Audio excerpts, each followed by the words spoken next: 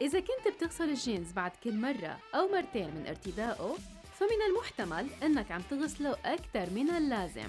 هالحكي صادر عن كتير مصممين لأفضل ماركات الجينز الأصلية بالعالم. لهيك قبل ما تحط الجينز بالغسالة رح نخبرك بعض الأمور الهامة.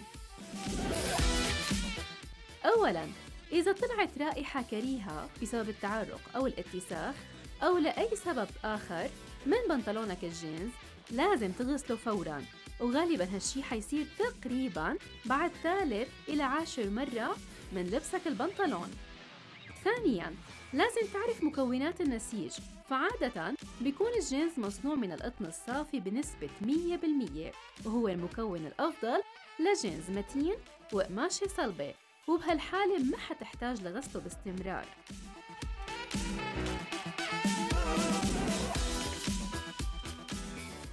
أما الجينز المطاطي الداخل فيه بوليستر واللي بتلجأ له أغلب النساء لازم يتم غسله بعد كل استخدام.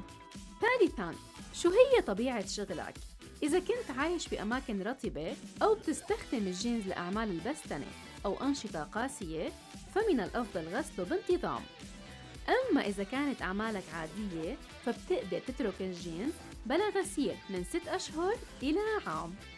رابعاً لازم تعرف إيمتى تحط البنطلون بالغسالة.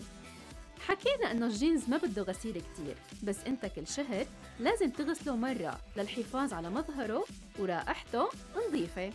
أخيراً حتى نحافظ على الجينز أطول فترة عنا لازم نغسله بالماء البارد مع القليل من مسحوق الغسيل.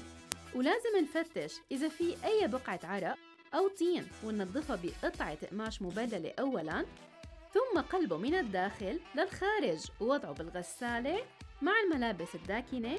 ونختار دورة الغسيل البارد.